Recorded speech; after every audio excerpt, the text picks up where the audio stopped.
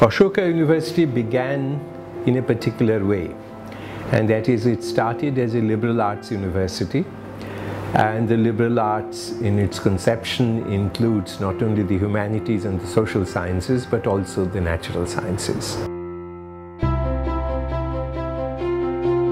What's new about teaching at Ashoka University is that it's a course that while remaining true to the spirit of physics also tries to fit into the Ashoka paradigm which believes in broad-based interdisciplinary kind of education or exposure to students.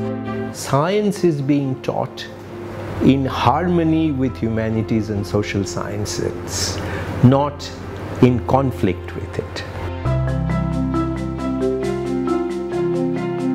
Uh, the sciences are not fundamentally about, uh, you know, a sense of being obedient or doing what you're told, right? The sciences are about asking questions.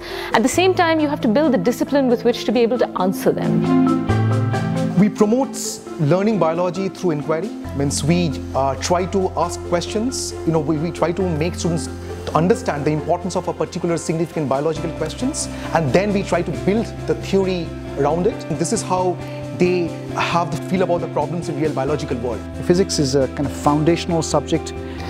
In Ashoka that takes on a different dimension because students who do physics here also get the chance to explore other areas of study and in doing so they can understand not just how physics works within the narrow domain of physics but how physics might work if it were taken out of its proper domain and used elsewhere. Given this immense amount of data, what does the data suggest to us? How can I make computers more creative? All of these are new questions and questions that we are building into the curriculum at Ashoka that forms the basis of a lot of what we do, not just in terms of teaching, also in terms of the research that the faculty is conducting. We've also tried to arrange the courses in such a way that in the beginning they get an exposure to the idea of physics through two gateway courses and they're able to make a second choice on whether or not to continue into physics after having done those gateway courses.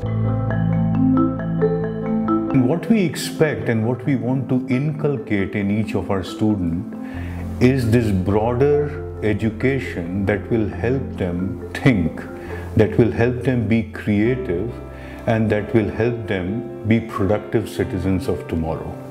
This overwhelming sense that science is acting not only in the classroom, not only as a text, not only in the laboratory, but everywhere in the life of the campus. So you have a very scientifically alert environment and we hope that breathing that air will help the students become more aware of science and this will help them inculcate scientific temperament.